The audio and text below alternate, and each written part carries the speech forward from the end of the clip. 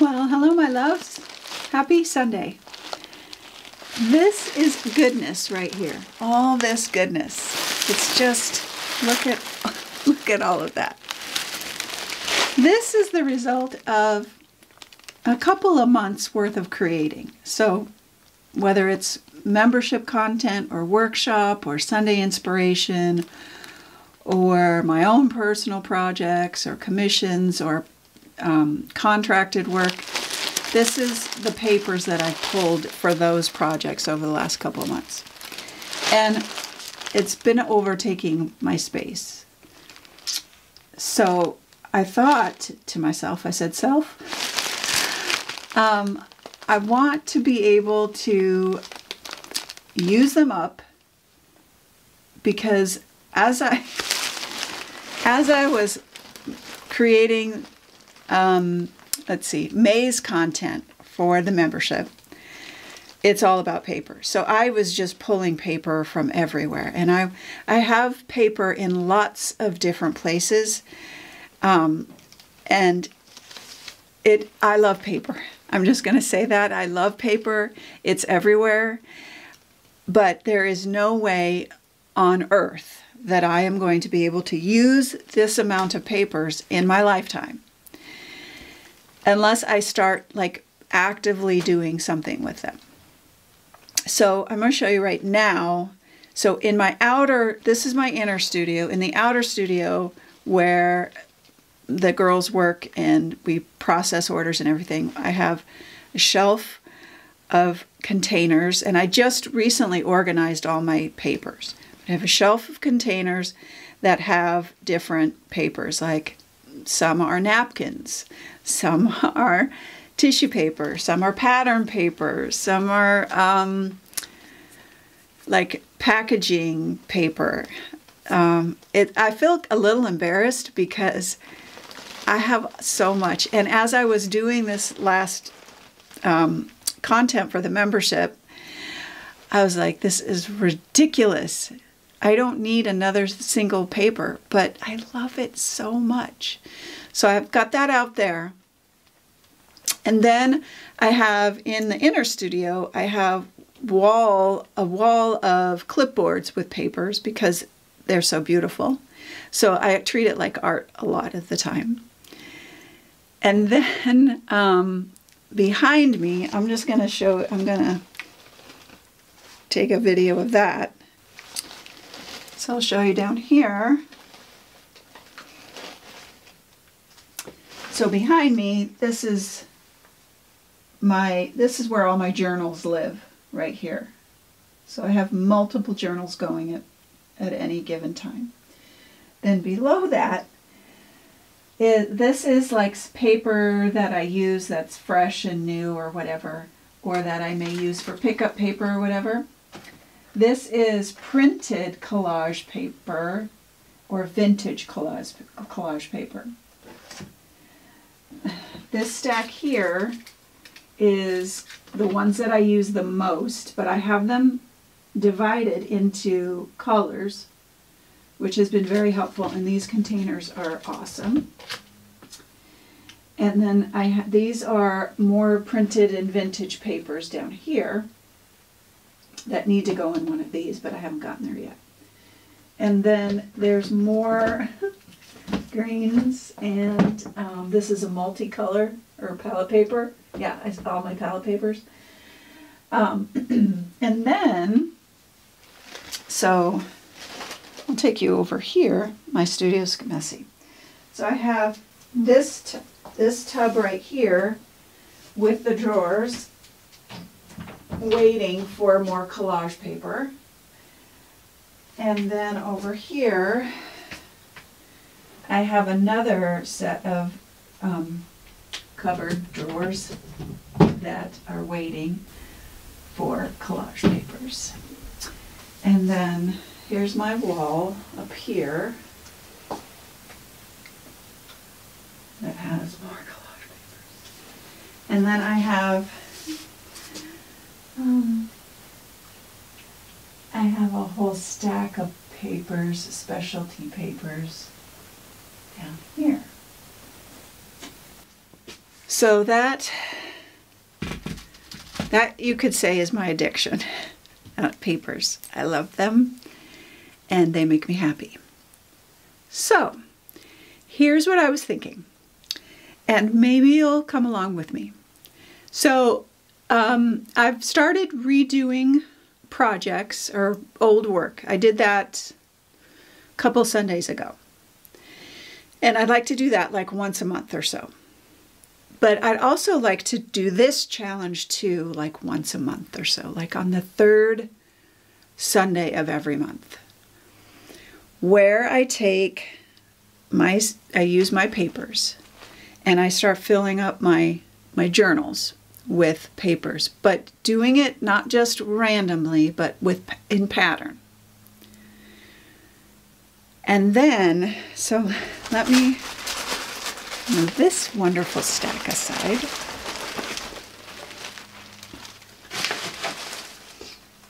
So let me show you what I've got up my sleeve. Okay. Oh dear, did I lose my...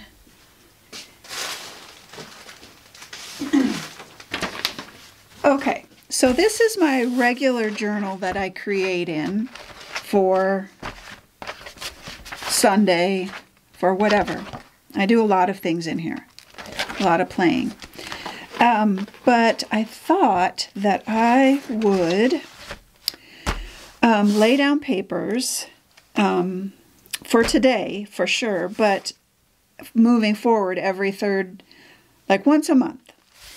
But like today, I'm, I, am i am going to focus on strips and, and kind of layering them up and, and you know, making it interesting, not just slapping them down. Or maybe the next time I would just do squares. And the next time I would do triangles and kind of fit them together. Or the next time I may do flower shapes and overlap them. So that's what I'm going to do to, one, try to conquer the pile of collage papers that I have. Then, the other thing I wanted to do was I want to do a specific color palette. So I have eight weeks of color palettes here laid out for myself. Now I got these off of colorhunt.co. I'm going to put these color palettes in the subscriber library if you decide that you want to create along with me in these color palettes. You don't have to. I'm just, this is something that I want to do for me I want to do this to, so like with redoing the old paintings, it's forcing me to um, do them. And by saying it out loud to you and making a commitment, it's it's making me do the things that, uh, you know, sometimes I just don't do or don't want to do or whatever. This is a practice, and our I think so often um, we get caught in the fact that we need to have this perfectly done piece for us to feel like we've accomplished something. And um, I'm really working past that. And, and I think I've done a really great job at that over the last last year of my year of curiosity and then this year my year of adventure. And so this is another adventure that I want to go on and maybe you'd like to go with me. So um, I I'll have these color palettes for you if you want to use them, or you can find your own color palettes. You, this play this um, this website's really fun. It's got everything, and, and uh, I tried to choose color palettes that felt comfortable and uncomfortable because I want to push myself outside of my comfort zone. That's why I want to do the collage papers in in the you know being very kind of specific with the pattern then I'm going to choose this color palette and do some color. So I've set some rules for myself. I'm going to do a set pattern for my collage papers. I'm going to do um, a set color palette and then I'm going to choose one stencil. And then the rest I can mark make or whatever I want to do.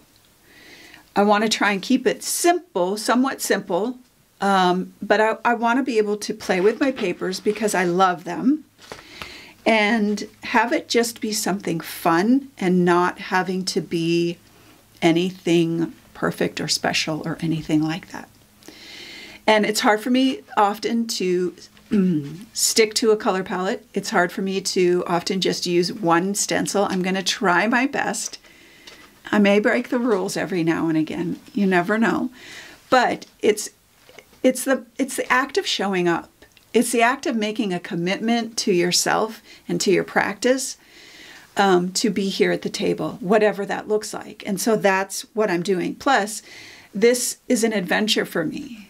And um, it's something that will help me grow and push me and challenge me and um, hopefully teach me new things. It, oh, every time I'm here, I learn something new.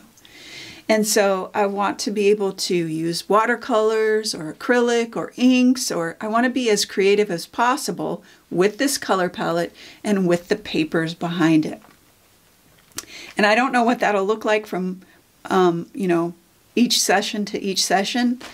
And, um, but I, I might even do more not on camera and then show them to you as I, you know, do, you know, one of the sessions with you each month. Um, but I really want to try and like tackle some of these papers. Some I can probably, when I, like this stack over here, I know there's going to be some that I'm going to throw away. Um, but I think it's a great opportunity for me to just let go, use up my papers, get in my papers. I love searching for papers. I love them. Okay, so let's just for today, this is the color palette I'm going to be using. Now, I'm not exactly sure. So this is a pretty, like Prism Violet. I'm going to get as close as I can. And like this is a little bit darker, so I can mix some black in with it. And this I can mix, it's a little bit lighter, so I can mix some unbleached titanium. This color here is actually probably a mixture of like burnt sienna and um, unbleached titanium or quinacrid. Mm, yeah, burnt sienna with unbleached titanium. And then this one's probably raw sienna with some unbleached titanium or gesso, one of those. So it's an odd color palette because there's not a whole lot of range there. And purple's not, except for Prism Violet, like when you get it a little bit lighter, I don't, it's not my favorite. But I want to do it because I want to see how these colors look together. The other thing that I want to um, say too is um, I can use these colors plus black and white. That's it. And I love giving myself this structure because it helps me not have to think too hard and just focus on playtime.